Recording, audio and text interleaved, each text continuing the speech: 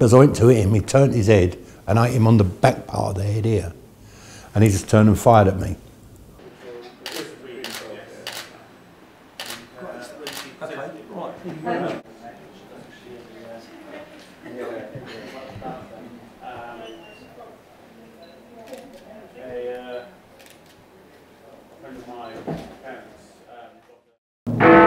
Shots have been fired at Princess Anne and Captain Phillips.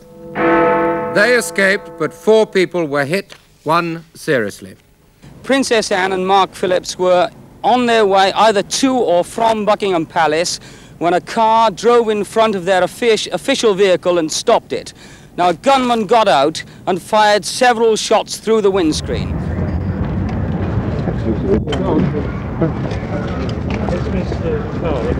Yes, yes. No, they, would, they wouldn't take it. No, the,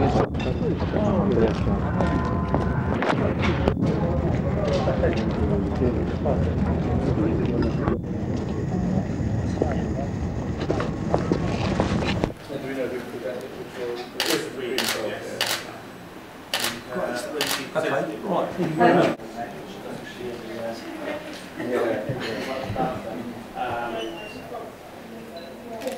a uh, friend of my parents um, got a. I remember this story. Do you? When I was a little girl, yeah. He was definitely must have been a little girl. But he was. I was a lot bigger then, no. Oh. There's a gun on the floor, he's got another gun in his hand. He's got Princess Anne by the arm, pointing the gun at her head. And he's saying, come on Anne, you've got to come, you know you've got to come. And the calmest person you've ever seen in your life was Princess Anne. She just went, go away, you silly man. I leant into the car. I said, come this way, Anne, you'll be safe. I got by the forearms, held her out, out of the car, in front of me. And I said, now we're going to walk away and he's going to have to go through me to get you. At that point, he has run round behind me. Mark Phillips has seen that, dragged her back into the car. So when I've turned round, he's there now. He's like as far away from me as you are, and he's standing with a gun pointing at me. And I thought, well, it's your turn or my turn. And then I hit him very, very hard. At Buckingham Palace, an investiture for the heroes of the Mall, followed by an informal reception in the White Drawing Room with the Queen, Princess Anne and Captain Mark Phillips.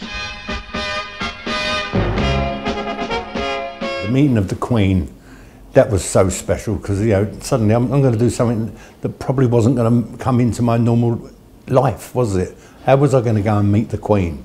And there I was going to meet the Queen through, save, through saving her daughter's life. When, when she presented me with a medal, uh, as she put the medal on me, she went, this medal thanks you as the Queen, but I want to thank you as Anne's mother.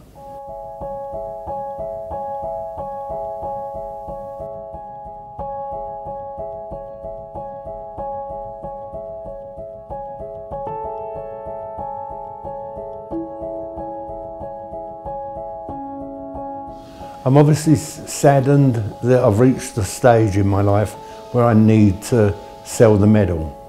But I do know by how I've been over the course of time that inevitable, the end is, isn't always that far away. I want to know that I've done enough to bury myself.